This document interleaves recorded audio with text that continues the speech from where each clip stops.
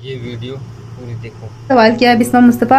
Husband अपने घर वालों की वजह से रिस्पेक्ट ना करे जब हम उसके घर वालों की माने बस जब ही करे तो हमें क्या तो हमारा हमें क्या करना चाहिए? उसकी बात माननी चाहिए जबकि घर वाले बहुत ताने मारते हों, गालियाँ देते हों। तो ऐसे शोहर को बताना चाहिए कि मैं आपकी इज़्ज़त हूँ।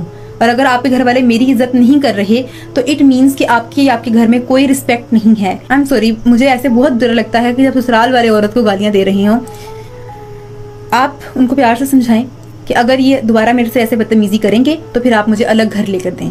नहीं तो ज़ाहिर सी बात है, आपकी पहली शादी भी मिनतों तरलों के बाद हुई थी, इतनी आसानी से तो नहीं ना मिल गई थी तो दूसरी दफ़ा आपको किसने देना है? जब पता लगेगा इतने गंदे लोग हैं, ठीक है? तो ये बात आप याद रखें कि जो शोहर अपनी बीवी की इज़्ज़त नहीं करता और ना करवाता है, दर हकीकत उसकी अपनी कोई वैल्यू नहीं है। वो एक ऐसा शख्स है जिसकी कोई औकात नहीं है। और जिसकी कोई औकात नहीं होती, फिर उसकी फैमिली को, उसके बच्चों को और उसकी बीवी को इस तरह ही बातें सुननी पड़ती हैं, इस तरह ही गालियाँ उसको पड़ती हैं। ठीक है? तो ऐसे शोहरों को तमीज़ करनी चाहिए और ऐसे शोहरों को सोचना चाहिए। अल्लाह ताला ने आपको मर्द बनाया तो मर्दों की तरह ही डील किया जाए। ठीक है? और अपनी बीवी की इज़्ज़त करवाएँ और खुद भी करें।